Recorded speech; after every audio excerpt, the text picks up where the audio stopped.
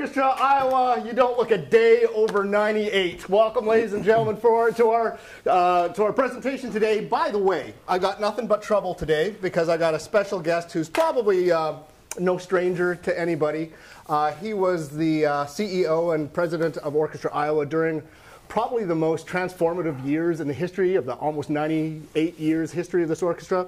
He then went on to be uh, president and CEO of Jacksonville uh, Symphony, and then on to president and CEO of Louisville Orchestra, and now he's the president and CEO, CEO of Innovative Arts where he's been consulting with orchestras during the pandemic that are in distress, and there are a lot of them. So joining me today is somebody who's no stranger to you. Say hello to Mr. Robert Massey. Robert Massey, welcome home, sir. Thank you very much, Tim. You look ridiculous. Uh, uh, I, I, I, try. Yeah, well, okay, so. And you don't look a day over 97. Uh, well, that's true. So there's an inside joke because he's wearing a green hat. And I remember when you were here, we were uh, working on our logo, and you spent a good six months trying to figure out the shade of green. And so the running joke was always 577 green, which was the kind of shade of green we ended up with anyway. So, in your honor, 577 green, sir. Thank you. Okay. It's more of a 578. Um, yeah, so um, where to begin? Well, first of all, back in the day, uh, our drink of choice was the old fashioned. And in Cobble Hill, they make a variant of it called the Old City. And this is something we used to drink like water.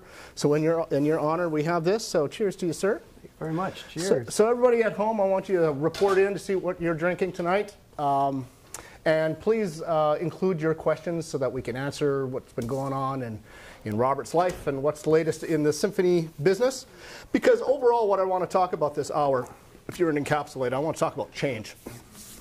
Change is a constant. Change is inevitable. We can be the agent of change. Sometimes change is thrust upon us. And I would argue that symphony orchestras are notoriously slow to change at their own peril. So um, I'm not sure if you want to start historically about what you came in here. No, let's let's work backwards. Uh, in the orchestras that you've been working with during the pandemic, mm -hmm. what are some, what's some of, what's some of the good, the bad, and the ugly uh, about some of the orchestras that are changing well and some that are resistant to their detriment? Yeah. Well, um, there, there's there's there's a lot of good, and unfortunately more bad, and and uh, probably even more ugly. Um, but it's the time that we live in, and you know the pandemic has just really uh, created a shift for the entire industry. So mm-hmm. something that had its heyday, you know, heyday in 1880 is now really dealing with a lot of, of um, the fact that it's it's not been prepared for this. So. Mm-hmm. Um, so I think you know change is um, it's something that you can prepare for. It's something that you can do well. Unfortunately, a lot of organizations wait for change to happen to it. You know, a catalyst, a spark, a mm-hmm. pandemic, a financial crisis, a flood.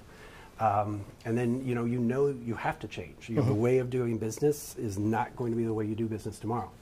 Um, those who get out ahead of it realize that you know there is a way to kind of plan and figure out you know how are we going to you know how are we going to move this this boat and and and turn where we need to go. And those who do it well um, are seeing great things and we see that in the industry even this year. Uh, those who have been unprepared um, are kind of um, you know dealing with that mm-hmm. and, and they will for, for many years. And um, and and those who you know are are kind of stepping in the potholes um, are, are possibly going to go backwards. So one of the advantages, if you can call it that, when you got here, you have the mother of all catalysts with the flood, um, because I would argue that for an orchestra to change, it takes a lot larger and broader constituencies than the average layperson realizes. I mean, it takes the board to be behind an initiative, it's, it's the executive, it's the staff, it's the music director. Already that's a high bar. Uh, but to do really meaningful change, you have to have the community and the musicians all pulling in the same direction. Absolutely. And uh, when you had um, the flood, which was so such a visible disaster. I mean, those who remember the flood, there was rubble on the streets, and it looked like you needed a tank to get down to get through downtown. So there was no question that every business was in dire straits. I mean, there was just enough visual information for people to just accept that mm-hmm. and to help us move in, in a direction to help us. Uh, more often than not, though, symphony orchestras and nonprofits have this thing called a P&L statement, and that if it's in red and your, and your balance sheet is not looking good, it doesn't have the same emotional impact, even though it could be just as dire, if not worse. Yeah. Yeah, uh, it, and it, it could be the finances. It could be, um, you know, a systemic problem with uh, the culture of an organization. So uh, where morale is just weakened over time and just never seems to get out of that trap. Um, people who don't have a plan or stick to the plan and kind of go rogue and kind of pull the organization in a lot of different, you know, directions.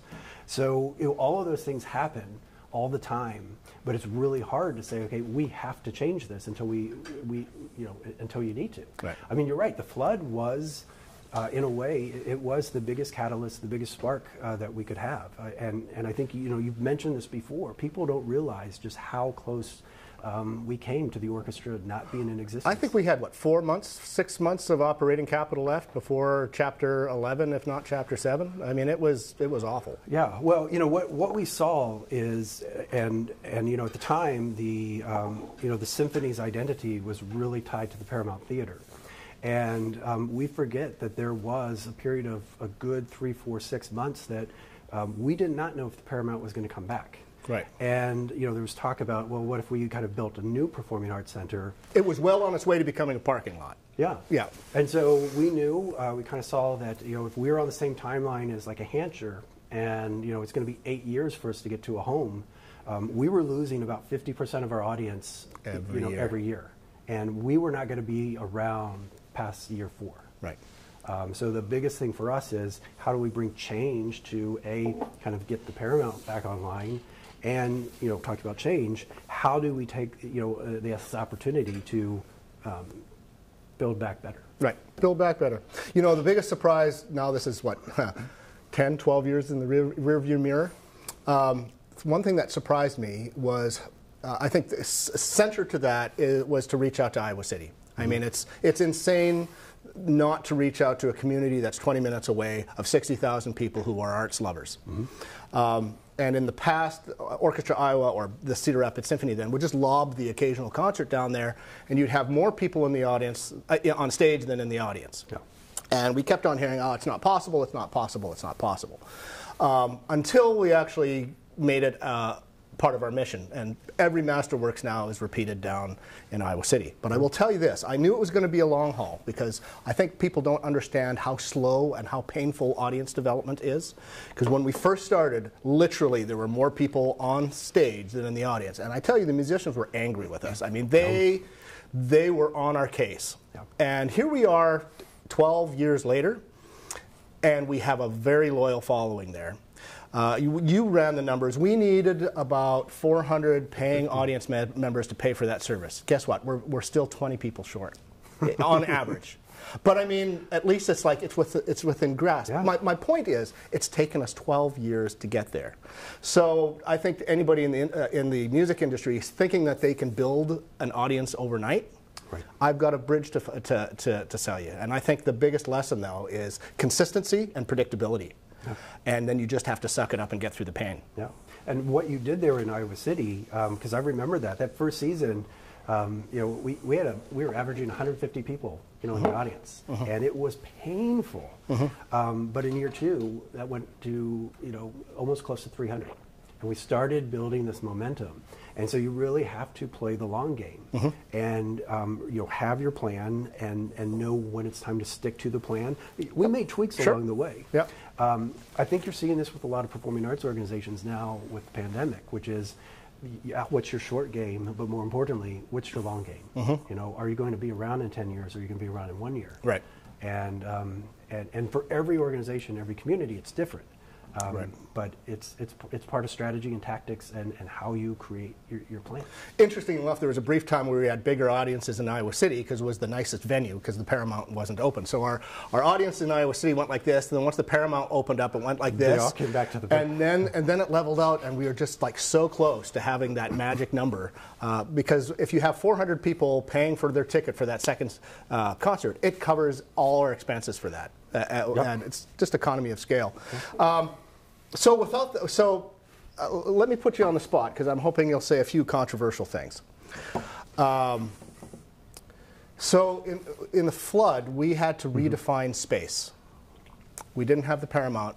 So we would play at a ballpark, or we, we would play at a school, we would play at Coe. We would play wherever and wherever we could find a spot that had a large enough capacity for the audience as well as a large stage capacity for the whole orchestra. This pandemic is a different animal, but it too is also redefining space. Um, some orchestras have been doing online performances, uh, some haven't. What are the pros and cons? Yeah. So, uh, you know, I think for, you know, the first thing is, is when live performances got canceled, um, you know, it's in our nature to figure out, you know, what, what do we do? You know, what, what is, what, is, what fills that void? If it's not people coming to us, you know, are, are we going to go to them? Um, and, you know, a lot turned to the digital space. Um, we've been toying with this. We've been, you know, experimenting with it as, as an industry for, for several years. Uh, you know, you see concerts on YouTube, on Facebook, and so, you know, again, this was a kind of this catalyst to say, okay, we're going to move more towards this online, you know, content. Um, first of all, you know, not every organization has the same resources to put into that. Um, I could tell you that it is um, perhaps more expensive to do a, a well, a decent um, digital production than um, than a live concert because you still probably have you know your hall you know expense. Uh, there may be you know still stagehands to set up you know the um, uh, you know the seats and you know the music stands you know set the lighting. Now you bring in um, you know audio engineers Ed, production crew. video Yeah. engineer. Uh, Got and, it. Um, Yeah. and you know, hopefully it's not. It doesn't just look like you know it's it's somebody's middle school orchestra performance with you know a camcorder in the back. Right. Uh, so you know you have some sort of creative you know element. Yeah, it. one So- single so- shot, so a away you go. Yeah. So they're they're costly. Um, you know, I, I think a lot of people try to find ways to keep their audience engaged. Um, for most of us in the orchestra world, performing arts, majority of our money is coming through contributed revenue. So we want to look at how do we keep the donors engaged. And so a lot of people said, okay, look, you know, from this digital, you know, you know, uh, platform, it's a great way. So you know, pros are it is a way to get out there. Um, you know, the con list, you know, in, in addition to being expensive. Um, Uh, as expensive, if not more, than regular production. Correct. Um, you, you know, in my opinion, it's you have to be careful because it tends to be, for most organizations, a, a, a, not a great representative of your representation of your artistic product. You know, going to a symphony orchestra concert is a four-dimensional experience. You know, the, the you know the sound of the musicians' instruments come together and blend. You know, in the space. Um, you know, when the when the bass section rips into something, you feel it in your chair. Right. And so you're moving from a 4D platform to a two-dimensional platform, and it sounds, you know, just like you know, you know, very stereophonic, you know, um, you know, flat experience. So yeah, you know, but you know, if you really wanted to listen to Beethoven Five, you know, is that the best? Is that why you're going to go there? It, and, and the answer is no. Uh, it's also not a great product because. Um, you know, a lot of our orchestras have been away for, for a while, so they're coming back and um, they, they're not performing regularly. So, you know, there's something about the ensemble playing. A lot of rust going on, yeah. And we now have social distancing requirements. So, you know, musicians are this far away. If we're in the wind section, we got a piece of plexiglass between us. Uh, we've got covers on our, our instruments. We can't hear each other. So um, it's, it's not putting out a very good, you know, this is what we are. Uh, but the biggest thing is, you know, we, we look at the data and it's not really reaching a lot of people. It reaches kind of a core, maybe 5 10% of your audience, um, and, and maybe less of your donors that will probably likely still, um, you know, um, you'll be involved with you. And then you know, it may reach um, you know, friends and family of the musicians you know, be, being performed. So it's just, it's, it's a really, um, it, could be a, it could be a poor return on investment. Um, however, much like this happy hour, what I'm seeing that's working really well is how do you keep the story, you know, alive? How do you keep people engaged and interested through, you know, connecting them? Um, and, and so whether it's just, you know, inviting them in to have a conversation or, um, you know, I'll, I'll, you know, drop the name of, I think, the group that's doing this the best, which is the Dallas Opera. Yeah. They have a whole TDO network where, you know, on one day they've got somebody doing master classes, they got a conversation with the music director, uh, they've got, uh, you know, uh, uh, you know, a member of the orchestra doing kind of A virtual lifestyle and- network and of stuff that they're doing. Yeah. And and it's interesting. You know, people Right. want to tune into something that will capture, you know, their you know their their, their imagination and keep them engaged. Um, so there's ways to do that. It's also not good for your product if halfway through your concert, Facebook shuts you down. Uh, yeah, and absolutely, and, and that you know, Facebook has moved to really just kind of not wanting to get into music rights at all. So even if you're doing things that everything's in public domain, um, they are blocking ev- everyone, and so people are moving off of the social media platforms that people are most used to. Right. So, so you know, it is something that's being done, but it, you know, there are people out there who say this is the future. Right. You, you know, my opinion, I think the minute that people feel safe going back to the live concert hall, um, that's where people are going Yeah. to experience the orchestra. Ed, which camera's on? This one? This one. So, um, I, what I what I what I, what I was gratified, what I learned from the flood of 2008, and I gambled on, and I was proven right, is that Iowans stand up in a in, in a crisis, uh, and they gave and they continue to give very generously.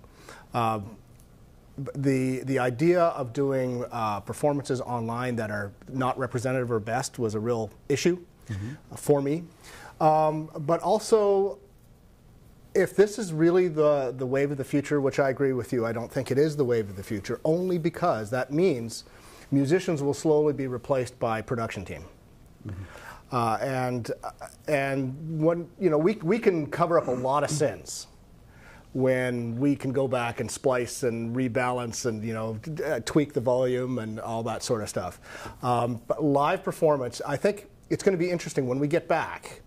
It's going to take us a while to get the rust out and get used to playing acoustically with each other once, and that's actually how I've designed our upcoming season, which we haven't we, we haven't released it yet, but it's coming. But I, I've purposely designed it to be fairly simple uh, so that the ensemble will succeed. And it's only towards the end of the season that I, you know we start pulling out the big stuff again. Uh, because if we start running before we can walk I mean that's a that's a real issue. So I'm going to go to our chat room see who's uh, following along what smart ass comments they have. And then when I get back I'm going to ask you Robert after you left Orchestra Iowa and Jacksonville does size matter? Does size matter? So let's go back to our comments here um, let's see here. Kurt Wasco. Tim, you know. Robert, you too. You know. Denny, I'm out. Don Thompson, anytime. Um, you know what? I'm going to have. Is do we only have four comments, or am I going to need some help finding these things? Because, yep, I see 18 comments maybe. You see them? Yeah, I- I- it's the same issue. For some reason, I just can't follow the. Uh, yeah, bring this up. I got you covered here. Yeah, We're gonna have a little bit of noise, and then we're gonna stop. there we go. Okay. And there we go. There we go. There. We, oh my God, there are actually we people go. out here. Yeah, Susan Anderson. Hola from Hacienda Margarita Toast. Great. Uh, we knew her as Jessica Mello. Uh, her last name is now what? Gully? Gully? Gully. You know Jessica what? Mello Jessica, Gully. forgive me. I haven't really met you again in your, with your new name. Well, yes, I suppose I have. Um, hi, Tim and Robert. Great to see you. Um, Don Thompson. What a great pair. Welcome back, Robert. You will, he lies so well, you know. the check's in the mail. Doc. Yeah, Denny Redmond's drinking Jim Beam. Uh, Susan Anderson, happy 98. Thank you, Susan. Uh, Jeanette Welch. Hi, Tim and Robert. You know, I was just thinking of you because uh, she's the other one who laughs every time I use the shaker. Yeah. She's, she too thinks of Leroy Anderson's sleigh ride. Literally, we were talking about that just like five minutes before we went live. Um, uh, Don Thompson, Belle Meade Reserve Bourbon. So, Don, are you going to start throwing down smack again against Denny Redmond's cheap choice in booze? Please do.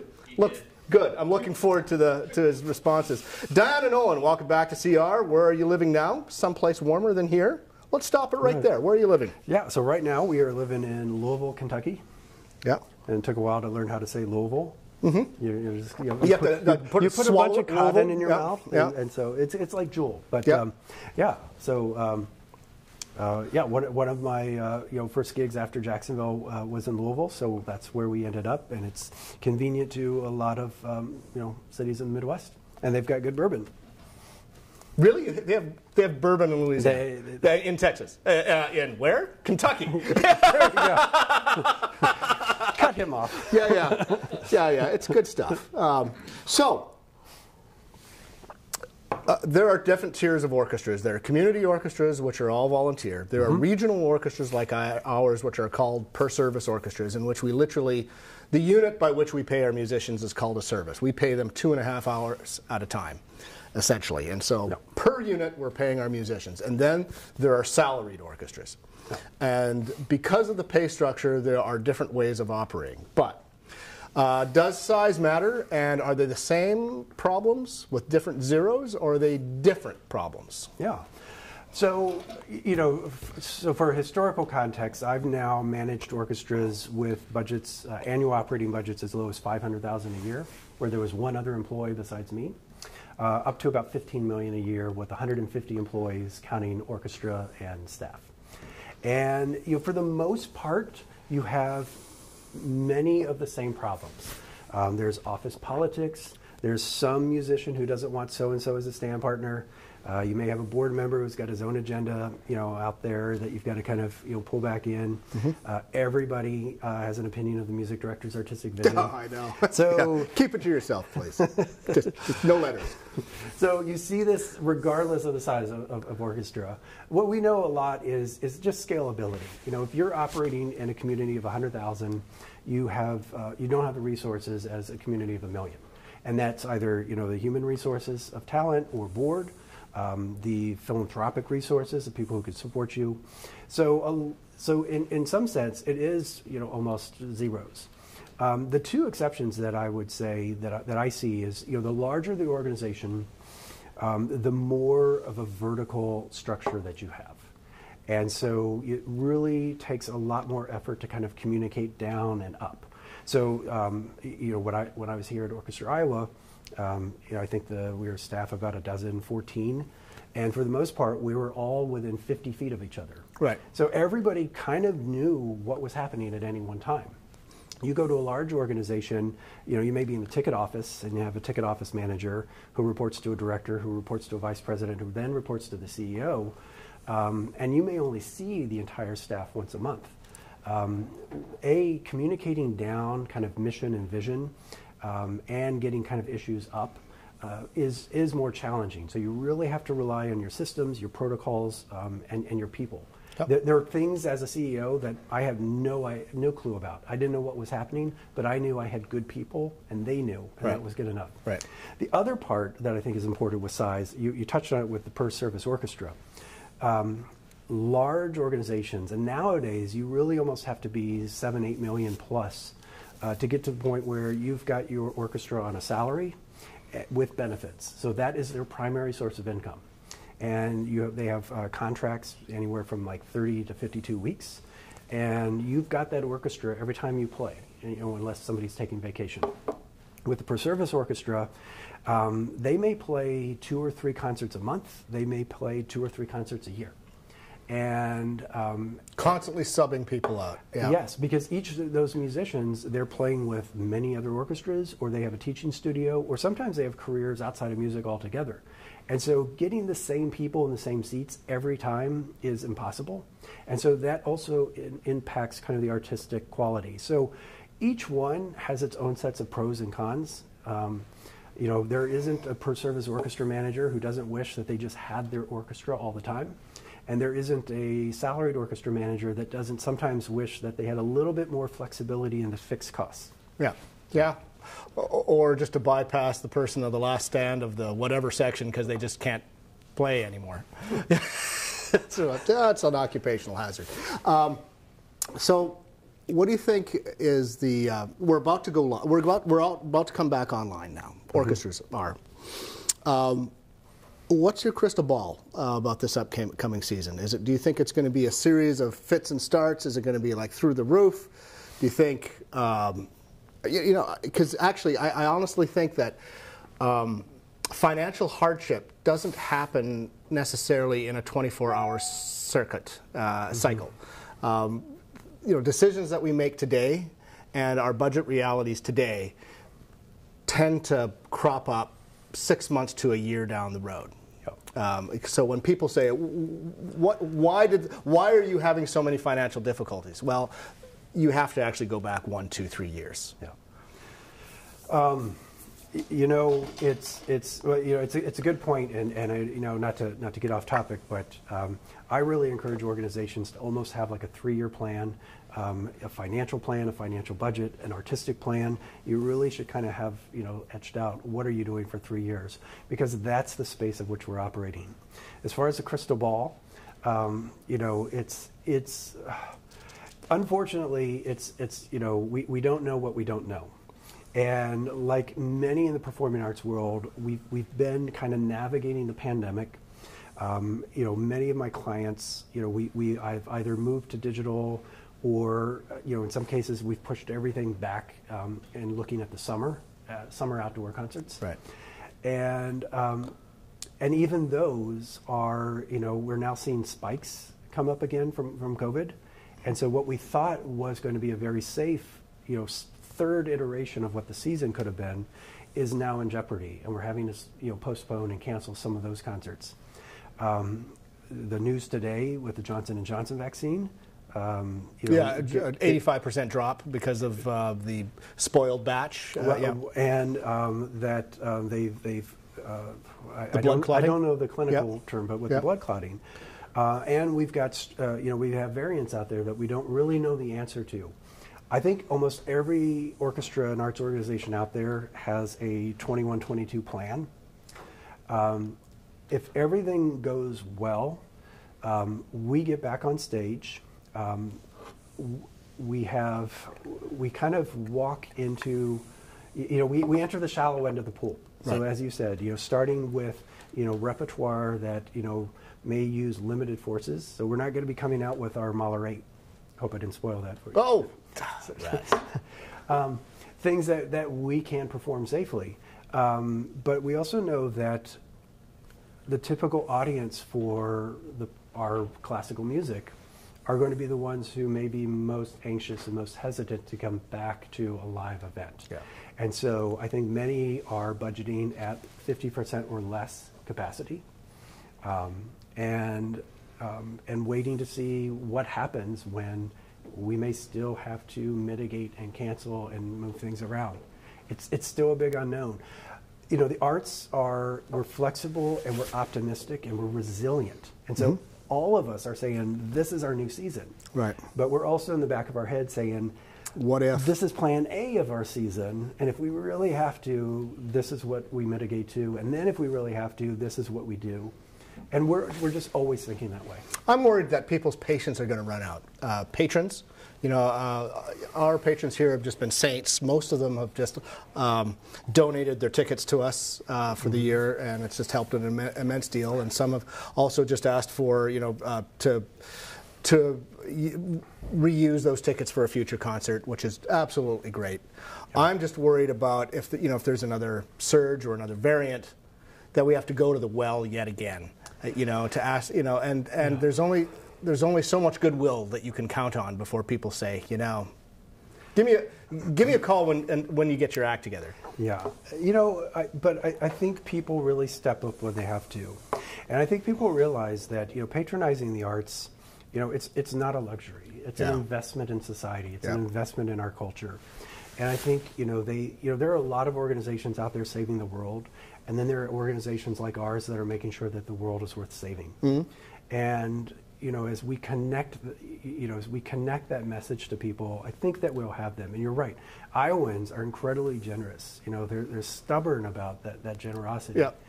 um, you know one of the things that gives me hope and um, i believe it was actually your conversation um, um, with uh, with Andy from Cobble Hill, and you know the restaurant industry also really had challenges, and so they did all things from you know you know packaged meals for takeout to you see people giving kind of you know, recipes online that people can kind of duplicate, and they had this whole other you know replaced business model just trying to keep up, and it was popular, but the minute that restaurants started opening up, whew, that's what people wanted, and they couldn't Right. even do that new stuff. So I think that whether it's in September or January, let's just stop there for Right. the optimist's sake. Right. Um, you know, every we we will be excited to return. Musicians will be excited to return to the stage. Audiences will be excited to return to the hall.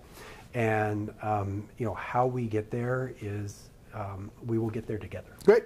So I'm going to go back to the the uh, chat room to see what's going on, and uh, when I come back, I want to talk to you about culture.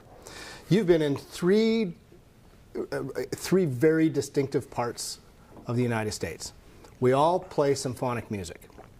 Uh, but what's the difference and how do you present it? And uh, because people sometimes think a symphony orchestra is a symphony orchestra, and the, answer, the, you know, the truth of that is beyond a 30 mile radius, they are not the same.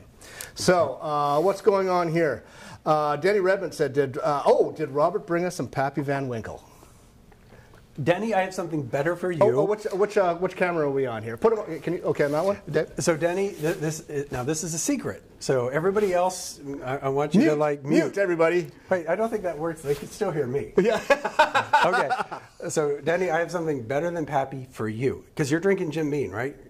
So you're gonna love what I, what I've got, and and I'll leave you that bottle to get to Denny. Okay, perfect. Because actually, when uh, we were talking back and forth, he said, "Should I bring anything?" I said, "Boutique bourbon, Yeah. boutique bourbon." Because I mean, really.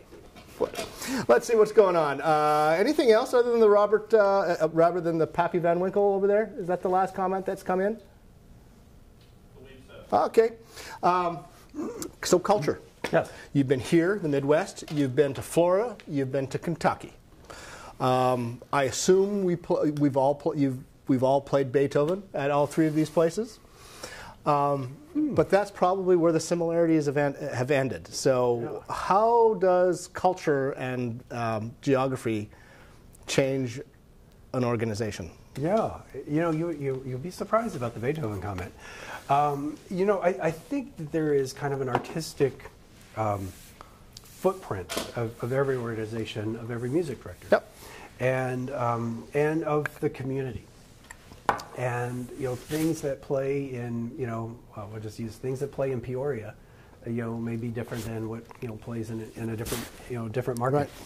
And it's been interesting to see the, the juxtaposition of kind of the community taste mm-hmm. Mm-hmm. and a particular um, artistic footprint. Mm-hmm. And, and I say that because you know often it's the music director, but it's not always the music director. Right. Uh, one of the things we love in the orchestra management side is um, guest conductors, because usually all the things that we want in a season that the music director doesn't want to play. Like Franck D minor symphony, for example. That's what goes to the guest conductor. Just putting that out there, everybody. Yeah, yeah, yeah. That's got guest conductor written all over it. Yeah. But um, Was I too eager on that one? Really? That much? Okay.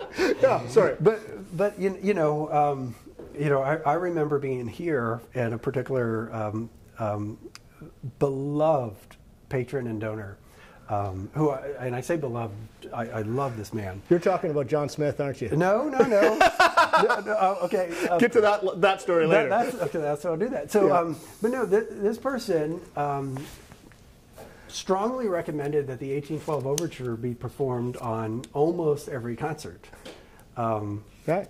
Yeah. And um, if not at least once a year. Right. And so really kind of meat and potatoes, um, Right. you know, taste, you know, in that sector. Um, I went to, you know, an orchestra and it, you know the location doesn't matter, but this was more specifically with the um, that new music director, who came from a school of um, really studying you know kind of the, the um, you know the, the 20th century Viennese school. So you know from you know Schoenberg and Berg. And, Mm-hmm. Oh, yeah, everybody sang along. Lincoln. Oh, yeah. The only so this is the only time in my career that a soloist did not get a standing ovation.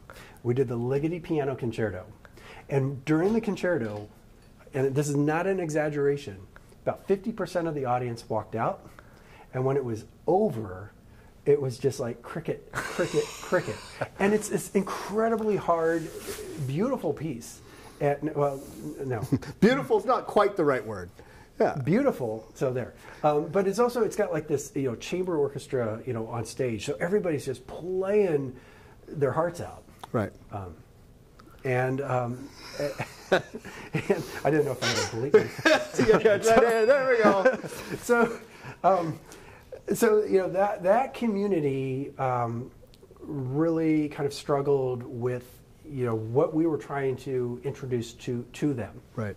Um, By the way, I just name checked John Smith for for example. We got to set the, the record straight. I learned something about John Smith because of you. Okay. Because John Smith loves the orchestra. He loves he loves this community. He, he he supports a lot of organizations, and he also does his homework. Uh, when Yeah. he when he sees something coming up that he doesn't know, he'll listen to it. Yeah. And you know what? Because of you, I found out that John Smith absolutely loves the music of Bela Bartok. Can't cannot get enough of it. In fact, he wants a whole season of it, front and center, in the Loge. And you know what? He'll even throw his underwear for that. Uh, I just mark my words, John. I hope you're watching. You want to tell the story? Yeah, yeah, John? please do. Yeah. So, um, so we did. Um, it was it was the Bartok Concerto for Orchestra, which is a standard, you know, top fifty. Oh, here? No, no, no, no. It was uh, uh, strings, uh, strings percussion, celeste. celeste. That's, That's the right. Which actually uh, was first featured in The Shining. It sounds like a horror movie soundtrack. Oh, yeah, it's great. Oh, yeah. Oh yeah, lots of viola, Yeah, velvety yeah. tones. It's scary enough as it is. then you throw in the and violas. so we did that, um, uh, but there's two parts of the story. So we, we did this on this concert, and um, and and at you know I saw him. and I don't know if it was at intermission or, or after the concert. You know, he comes up to me. And he's like, Robert, we need to do more Bartok. And I was a little surprised. And I'm like, really? And he's like, no! No! yeah, I mean, who wants that experience of you know listening to music that's accompanied with a chainsaw massacre or something? But about this concert, and I'm trying to, I don't know if you could remember what it was paired with. Was it Tchaik 4 or a Dvorak 8? It was I, something. I can't remember. Yeah. um, or it may have been a concerto. But this was at the time, I, I think we may have been in Coe. Yeah, we were starved for uh, a real experience. So I remember, you know, because after a concert, I always uh, go out where the people are. And as people were exiting the hall, you know, I like to pick up on what they say.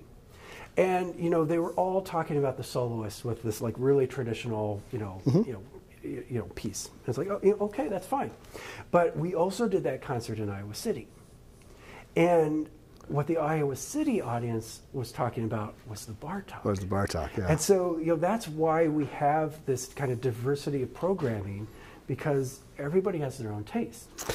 So, so that was here. That was Jacksonville.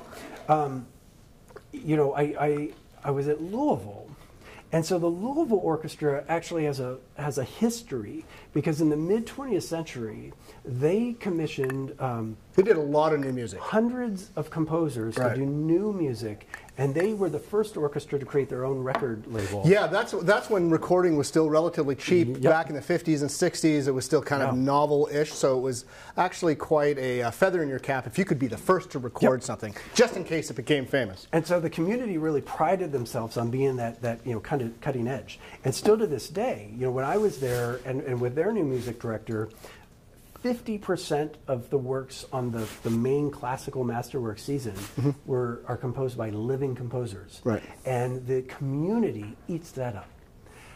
I can't think of another orchestra that can get away with doing 50% con, you know living composers. Uh, which I actually think But is that's a also great because it's go, had that's because of its 40-year history of doing that. Yes, it's, Getting, it's the culture. Get, said. getting back to my original point, it's taken us 12 years to get an, or, uh, an audience in Iowa City. I mean, Yeah. but if we had 30 years of that, uh, it's a different ballgame, isn't it? Uh, yeah, Uh, because we couldn't do 50% new music in Iowa. Although I will tell you, uh, as God is my witness, Ed, you'll be my witness here. Um, the year before, maybe two years before the, the, the pandemic, um, the metrics of our data changed. Um, there was a couple of concerts in which we switched out the overture mm-hmm. and we did something a little bit more off the beaten path and, and wild for Iowa City audiences and something a lot more conservative for Cedar Rapids audiences. And in those two years, we found out that the audi- our taste in audiences of our mm-hmm. audiences switched. And that our audiences in Cedar Rapids actually started thinking, hey, you know, I love the Beethoven, I came for the Beethoven, but this piece loved it. Whereas some of our audience, our, our stalwarts in Iowa City, were saying, you know, eh, yeah, yeah, Yeah. yeah, yeah. I, I think people want new. I mean, if you just ate the same thing every day, you know, that Right. would not be fulfilling to you. When I was here, and, and this wasn't my project, it, it was, you set it in stone before I got here, but the whole Made in Iowa Right. project, Yeah. where you know you know an Iowa composer you know was put on every concert, Right. and there were some great pieces that came Right. out of that. In fact, pieces that we repeated multiple times. Eric McIntyre. Yes. Uh, drive by. And you know, uh, uh, you know, another name drop here, but uh, it was Orchestra Iowa that commissioned Michael Daugherty's American Gothic that got the Grammy Award for Best Contemporary Composition. Yeah. So you know, I think I think we shortchange our public thinking that Right. they don't want this, but Right. in reality, they're they're right along with us. But you have to. You, you have to engage. So in we, that we have some advocates here. Blaine Cunningham, uh, our uh, librarian. So he's a little biased, just just a little bit. He had a but great solo on American Gothic. I do- he does. He- We, we, by the way, uh, after you left, we also did uh, Michael Daugherty's tuba concerto. The Mississippi. Uh, Mississippi. Oh God, help me, Blaine. Blaine, what, what was the what was the Mississippi? r- I don't what, what was the name of the concerto? He, anyway, Blaine did a brilliant job, and it was it's it's a beautiful beautiful damn piece. Because when you think of tuba, sorry, Blaine, I'm still you know people don't understand don't see it as a as a solo instrument necessarily, and I would say 90% of the concertos out there would reinforce that opinion. Yeah. Michael Daugherty's piece. That was awesome. So let's see what you think, Blaine. You Tubby, the tuba. not, yeah, Oh, exactly. no. So, but Oh. anyway, Blaine said he was in attendance for that Bartok concert in Iowa City. Uh, he loved it. I think it was uh, spring before he auditioned for Orchestra Iowa. There you go. Don Thompson. Here's another guy who loves new music. I think people want new. I like Robert's assessment. Uh, oh, Nancy Saraduk. Um, can't wait for live symphony again, and I'm very happy with Iowa City resident. Love you. Thank you so Well done. much. Tell your friends and bring them too. Uh, thank you. Yes, Reflections on the Mississippi. Thanks, Blaine. Yeah. Um, and um, Diana Noah, and she's right here. Uh, Daugherty has become more melodic and easier to embrace. Uh, what what happens with a lot of composers when they're trying to cut their teeth? They're trying to be meaner, badder, more dissonant than everybody else, and thornier. And then with, if you're lucky enough, like Michael Daugherty was, to actually taste international success, you sort of relax and you realize that people want to hear a good tune uh, in a completely new light. Because actually, actually, his American Gothic, the second movement, was down. The main melody, which which was lost on most people in the audience, was down in the valley. The valley so Yeah. low, and he reorchestrated it and and and camouflaged it so much, it just sounded like Daugherty being Daugherty. And the orchestration. I think it starts with that alto flute. Yeah, you yeah. know? Yeah, and yeah. It's just so, so eerie. Yeah. Uh, he, he- yeah, he's brilliant. You know, a lot of kind of contemporary composers kind of you know put him in this this box. Right. But, um, yeah. So we're, uh, sadly, we're already coming up to the end of our of our of our um, our time here. Uh, yeah, it's yeah. Actually, unless you want to pour us another, are you guys ready for some more? Are you? Do you have? A, do you need more time for a refill, everybody? Um, uh, so. Actually, I'm gonna I'm, I'm gonna ask you this, and I would uh, ask you to be um, forthright, blunt, but somewhat politic. Okay. Uh, what were the pros and cons of Orchestra Iowa as compared to the other orchestras that you worked with? Artistically or administratively or in terms of vision? Yeah. No, th- th- it's a, it's a good question. It's, it's actually something that, you know, not only do I think about a lot, but um, I, I talk about a lot to other organizations. Because, you know, the flood happened. We already discussed, you know, this was the lowest point for, you know, at the time, it was the, the lowest point for the orchestra, it was the lowest point for the community. Yep. And, you know, you talked about, you know, all the, you know, just the, the, the rubble and, and, you know, the disaster that, you know, was downtown. But what I remember about that was the smell Right. that unmistakable smell that, that to this day I, I still have in my mind. Right. Um, and you know, the only reason that we were able to survive um, was this collective people.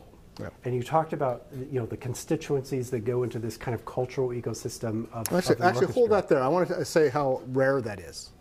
Uh, uh, you know, no, uh, symphony orchestras are notorious for like, you know, fighting cats that have been like that had their hind legs tied together. I mean, it's it's it's a tricky organism to steer. To steer. Yeah. So if you are having three, two to three constituencies out of five pulling in the same direction, you're actually ahead of the game. But we had all five. You you did well, and and so you know you have a you have an incredibly engaged um, board that's providing leadership, at the time where they're all dealing with their own companies and, and personal lives. Right. Um, our board chair, uh, you know, you know, uh, Tony Golobic, you know, who had hired me. I, I mean, he, his his business is right, you know, down. He and- ran a lot of interference for us too. and yeah. you know, so he's dealing with his own company. You know, Tim Charles, you know, Mercy had their own stuff going on. But if you look at, um, and actually, you know, I, I want to call this out because I think there should be two, um, two sculptures made in the Paramount Theater. Um, one for Peggy Whitworth and one for Jim Hoffman. Yeah. Because those are the two individuals that saved the Paramount and, and got this restoration happening. Peggy was the first to realize its historical significance. Right when people wanted to tear it down? Yes, Yep. the historic renovation. And then once everybody said, okay, great, we are going to restore it, how are we going to do that? Jim Hoffman got the tax credit thing figured out somehow. And so those were two heavy hitters on our board of, of, of among, you know, 38 others that really got this organization going. Um, the musicians. You, you know, musicians are very tied to routine.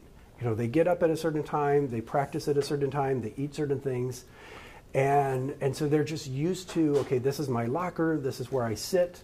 And when the flood happened, we were like, there is no locker. We've got to change everything. We're Yeah. going to move you to a auditorium at a college. We're going to play in a high school. We're going to go out to the lawn of Brucemore. We don't, you know, we're, we're going to rehearse in a in you know a gymnasium. And whereas probably many other orchestra musicians would have, you know, raised the flag and said, "Whoa, this is out of contract. This is, you know, we're not Yeah. comfortable with this," our musician said, "What do we need to do?" Yeah. And we're going to meet you there. I will actually uh, shout out uh, somebody who just resigned, retired this year, uh, who was the head of the players committee at the time. That was Pete Tilley. Um, to have God bless s- him. a gentle soul like that uh, leading the musicians at a time Yeah. that could have been catastrophic. Absolutely. Yeah. And then, uh, you, you know, and so um, obviously a great community that came, you know, uh, a funding, you know, uh, you know, our donor community that, that was there right behind us. Um, you know, but to me personally, the, the biggest driver of all of that, you, you know, as a CEO, you, you know, look, you and I have gotten a lot of credit. You know, Yeah. we, got our picture in the paper, we got awards. You know, I got a little trophy that still is on my my you know uh, desk. Um, that all happens because I had an incredible team. I had an incredible staff. You know, every one of them, you know, was was a rock star, and you know, they were the ones working eighty-hour weeks. You know, just sludging through everything. Well, when you have a binary system where it's failure, where, where, where the only other option is failure, yeah. Um, it really galvanizes an organization. It does galvanize. Yeah. But people could always choose to leave and say, Yeah. it's not it's not worth it to me. Yeah. Yeah. And no one did it. Yeah. In fact, people came running saying, How what can I, do? Yeah. Yeah. So, um, so you know that that to me, you know, when I look back at Orchestra Iowa, um, what set it apart was just great people um, wanting to do the right thing, and so I was stubborn that we were going to be damn sure that we did not fail. Yeah. Well, because of you and the time that we were here together, uh, we bought this orchestra at least another 12 years. Uh, I, I think only a handful of people, most on the board, realized we only had a couple months in us before it was it was over. it was over. Um, so I hope we are never in the position where we have our backs against the wall like that. Yeah. But it is also a teachable moment that when we all move in the same direction, know? Uh, major things can happen, major change can happen, and uh, it's, that is awesome. I just wish it didn't take a catalyst for uh, a catalyst of a, of a Yeah. crisis for that to happen. Well, so you know, and, and you don't have to because you know, talking before about kind of planning. You know, the, the key to all this is kind of co-creating. You know, the, the plan. And you mentioned it. You know, if you get your board, your staff, your musicians, you know, representatives of the community, your donor base, and you get together and you say, what are we going to do? this is North. Go. Yeah. Right. You know, your strategic plan is what sets your mission, your vision, your values. And, you know, more importantly, it also sets the organization's commitment to resources to those values. Darn it! You just made me ask yet one last question before we sign off. The art of saying no. Um, so every orchestra has more ideas and more opportunities than they know what to do with, but they don't have the resources, either financial or human, or in terms of just human capital. And I'm just talking about orchestras of any size Yeah. to get it all done. How often do you have to say no, even if it's a great idea? Well, you should say no. Yeah. You know, and, and because if you don't, and this is you know why you have a plan to say, you know, what is the most appropriate. Look, we all can think of a hundred great things to do, great ideas, but you can only execute well on three to ten of those. Right. And you have to collectively say, this is what we're going to do, and I'll take ownership of that, and then subscribe to it. When you get to the good, bad, and the ugly, the bad and the ugly come when people either aren't there for the strategic plan, and so this is important because you know you should be every other year you should be doing your strategic plan because we have new board members joining every year. And I've seen more organizations get into trouble because they've got a great plan, but four years later they had a new board leader come on and say, you know, that's not my plan. And, and they start to pull the organization away from what everybody said. This is where what we're going." into. Yeah. So, um, so you know, you, you've got to be you know vigilant. You, you've got to say this is what we're doing with our resources, and um, and you know to say no to things that aren't you know in that Even if they're a great idea. yeah, because this is where we get into mission creep, and we are seeing. Here's another controversial, you know, statement. Um, where I see this happening more and more is um, donors, donors who say, you know, I will give you X, but I want to see this, and it may not necessarily. It often doesn't reflect what the institution said is where we're going. Sometimes it gets as far as saying, I want this programmed, or I want this artist, or I think there should be a change in um, personnel. And it's hard for organizations to turn away money. And you've got to be very diligent and have a lot of institutional integrity. And um, if you don't say no, you're going to get into trouble. Yeah. So with that, I guess the the definition no. the definition of leadership is the art of disappointing people. I and, and that has been my success. I, I can't think of anyone that I haven't disappointed.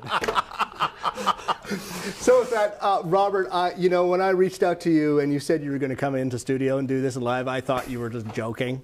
And how long of a drive is it from Louisville? Uh, seven and a half hours, but this is where it all started. This is where it all This started, it. and, and it was kind of it was fun and also sad to see the look on your face when you came into Opus and you see and you see it kind of torn apart because of the derecho. Yeah. Even though it's on the mend, um, it's kind of hard to see your baby hurting right now. Yeah. Yeah.